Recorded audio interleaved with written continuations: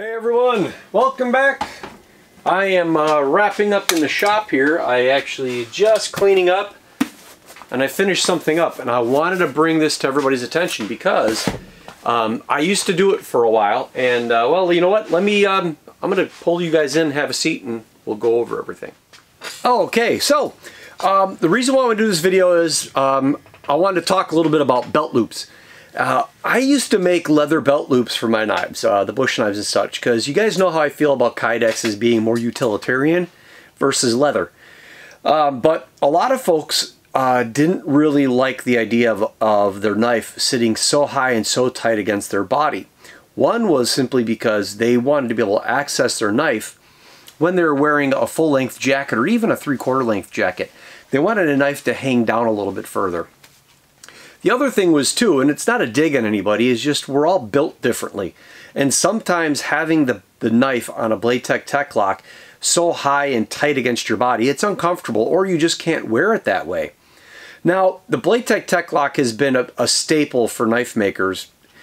I, I, couldn't even say for how long now, but it's because it's the most general purpose and uh, uh, most um, uniform type of way of mounting a knife. Now there are people and companies, I should say in particular, that use various types of nylon and they put it on the back of their Kydex and they, and they attach it to their, you know, to their belt. And then there's folks that will use a hybrid of Kydex and leather, meaning the Kydex sheath, the body is Kydex, and then they'll actually go ahead and use a thinner leather material and put that against it. So you have Kydex, Kydex, and then leather. And then that leather comes up and creates a belt loop too, and it's stitched or riveted or something. And sometimes those can get pretty heavy. But what I did a while back is I started doing my Kydex sheaths, but when I lined up my holes, I would line up the holes to accept either a Blade-Tech Tek-Lok or I would make a, a Kydex adapter, or a, yeah, basically a Kydex adapter. I would take Kydex, I would heat it, I would mold it, and then I would attach it to the back of the sheath and then I would make a leather belt loop that went up. And that leather belt loop could be made at various lengths uh, to accommodate for when people carry. 95, 98% of the time I make a leather belt loop that doesn't go any higher than the top of the handle of a knife when it's sheathed. And the reason I wanted to do a video on this is because I've actually been making a couple of them for folks. And recently I'd made a, a, a, knife, I got a knife here for Tristan and with Forbidden Off-Road. And uh, um, he bought a knife from me a while back. And he had, I had the Tek-Lok on that sheath and he took it, he wore it for a while. And then we got back together on this one trip we did with Little Overland. And he was asking me about that because, you know, he's a big guy. He's kind of, he's a stocky, he's a, he's a stocky fella he's a lot more robust than I am. I'm a you know long and kind of slender, and he's a little bit shorter and stockier. No offense, buddy. You know I love you, man. I love you.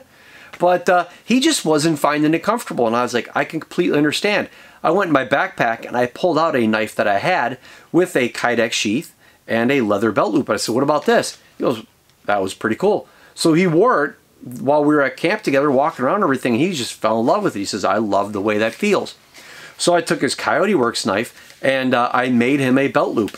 And this is what I'm talking about, is I take this Kydex and I mold it to the back and then I use uh, washers and, and, and head posts and screws and I mount it on there. But I also make the leather belt loop. I'll cut it to the the width that it needs to be, and then usually the length of what the customer likes. And then I'll dye it, I'll stamp it. Sometimes I tool them, sometimes I don't. Sometimes I just do a little line, sometimes I just leave them plain. It's pretty much what most people have asked about. Most of the time it's either plain or just a little line that goes around it and that's about it. But I wanted to bring it to your attention because it's an option that I've never really offered on the website. Um, it wasn't very popular a few years ago, but in the last maybe year, year and a half, it has become a little bit more of a requirement or a request. Guys are asking about that, and a lot of folks are just going to leather sheaths, which I'm fine with. I think uh, when it comes to a dangling type knife or the uh, um, the nostalgia and the warmth and the charisma of a leather knife, leather sheath with a handmade knife, it really it, they really go good together. But I thought I would share with you just some pictures and what I'm talking about uh, about these because I've gone ahead and I've updated my website to include both buying a Blade-Tech Tek-Lok if you might want one for another knife or if you maybe lost yours or broke yours or something, you can go on the website and buy just a Tek-Lok from me, as well as uh, opting to not have a Tek-Lok, but instead having a leather uh, belt loop, a leather drop down loop.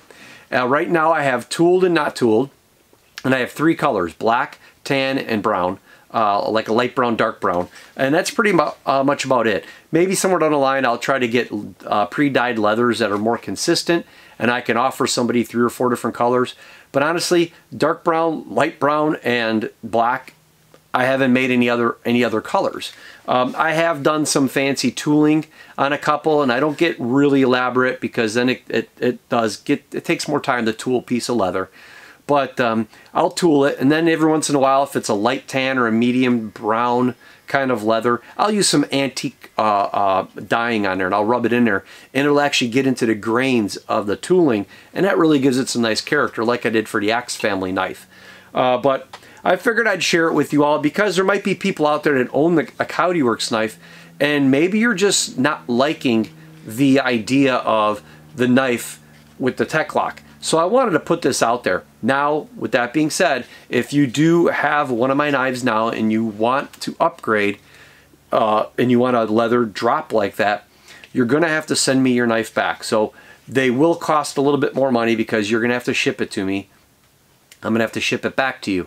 Uh, but we can communicate via email about that and I can let you know. Um, but if you are looking to buy a knife and you might want that option, you can hit me up. You just go to the website itself and you'll see leather belt loops.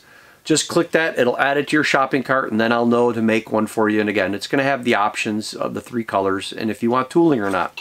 And I threw some pictures on that as well so you guys can get a general idea of what I'm talking about as, as well as here on the video. But I thought I'd share that information with you before I shipped off Tristan's knife and um, shared it with everybody. So I do appreciate it. Thank you very much for all the support. Thank you all you coyotes and everybody else that's been coming on board. Um, a, lot, a lot of folks actually have been looking at the other knives and buying them and uh, uh, Montanas and Rogues for instance. That's really nice. I do appreciate that. So, uh, but everybody else, thank you very much for everything and uh, we'll just catch you in the next video. You have a good one. Remember, keep me from that bottom of the YouTube bucket, would you? Bye.